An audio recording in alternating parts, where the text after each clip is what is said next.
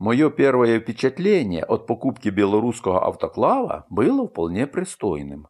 Мой любимый цвет, размер и все такое, ну и просто давно хотелось. Впечатление не испортил даже порез руки об острую кромку горловины. Ну подумай, что не снял фаску. Меня ведь не убыло от того, что я взял кусок старой наждачки и несколько раз прошелся по кругу горловины. Опять же, это только улучшило поверхность прилегания к прокладке. В тот момент я и не подозревал, что это только милый намек на будущие проблемы, и мне придется переделывать все ключевые узлы автоклава. На нашем канале «Жить хорошо» есть небольшая серия из четырех видеороликов о том, как создать свой семейный противокризисный запас мяса на целый год вперед. В первом ролике ценная информация о том, что вырастить сотню бройлеров не сложнее, чем содержать пару хомячков.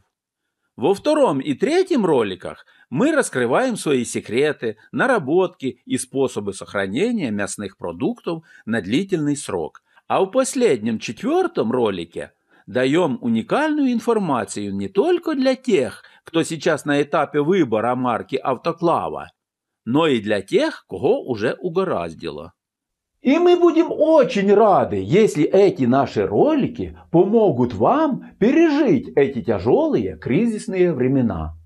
Больше всего меня удивило отсутствие на автоклаве термометра. Все-таки температура – это основной и единственный фактор стерилизации. Зато есть манометр. Да, при работе автоклава при неизменном уровне воды температура и давление пропорционально взаимосвязаны, но все равно выглядит это как-то диковато.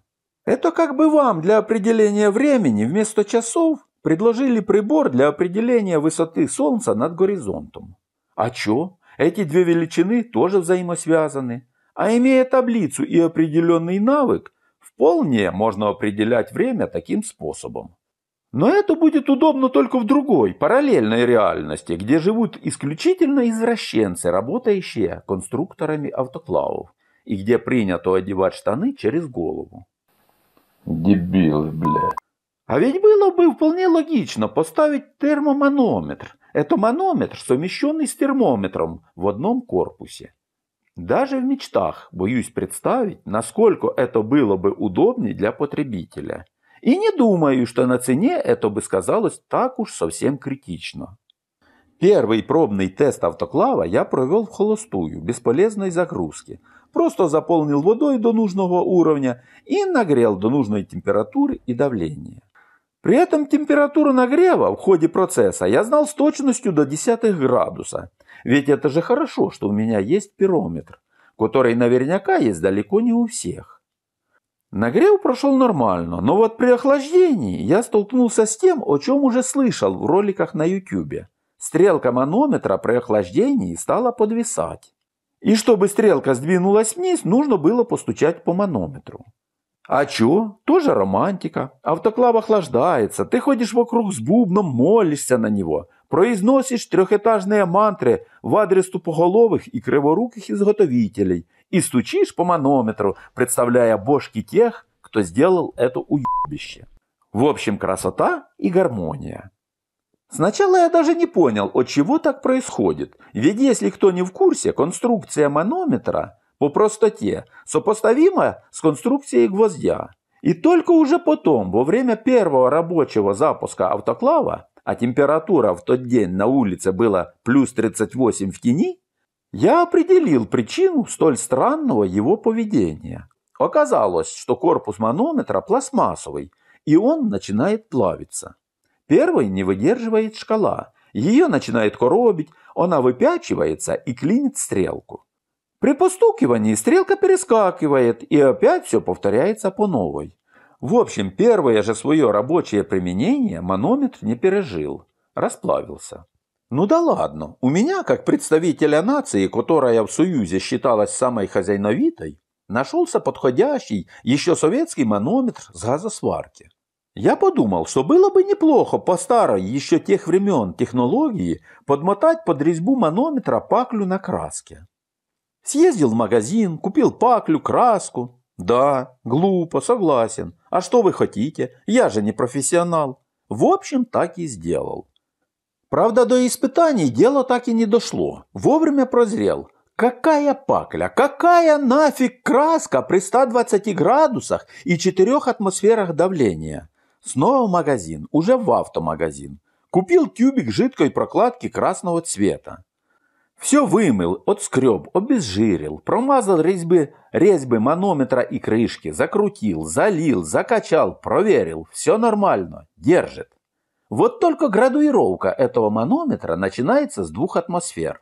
Не сразу, но догадался, что проверить точность градуировки этого манометра можно манометром для проверки давления шин в автомобилях. Пошла ежедневная консервация.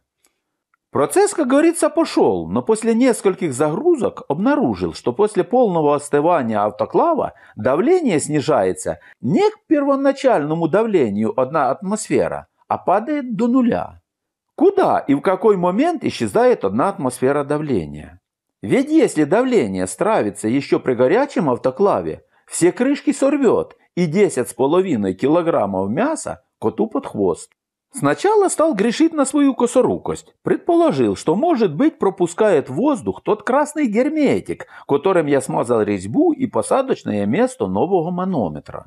Все разобрал, отодрал, очистил, обезжирил, снова поехал в автомагазин и купил двухкомпонентный эпоксидный герметик для заделки блоков и картеров. Мне же больше нечего делать, как покупать всякое дерьмо, а потом делать из него конфетку. Перезаделал манометр, но ничего не изменилось. Таким же образом перезаделал посадку штуцера закачки воздуха. Снова безрезультатно. Оставался клапан – Насосом нагнал давление, и оказалось, что при достижении давления 3 атмосферы клапан начинает нехило так травить воздух, причем не из посадочной резьбы, а именно из отверстия сброса. Клапан оказался бракованным, и его нужно было менять. Но где такой взять? И где гарантия, что я не заменю говно на такое же дерьмище? Я поступил радикально и выбросил его к ебеней матери. Болт на 10, гайка, две шайбы, все это на эпоксидку и затянул.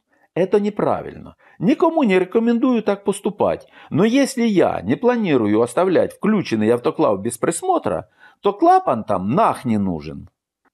И только после таких переделок автоклав заработал безукоризненно. А я искренне верю и желаю, чтобы тем, кто сейчас нажмет кнопку «Подписаться», а потом сразу же на значок колокольчика, всегда везло и им никогда не попадался такой брак, как попался мне. В общем, если посчитать общую денежную стоимость моего потерянного на ремонт автоклава времени, стоимость расходных материалов, стоимость моего труда в качестве слесаря, сопутствующие расходы, а также прямой убыток от передержки курей, то покупка белорусского автоклава «Новогаз» обошлась мне гораздо дороже двойной стоимости от цены покупки.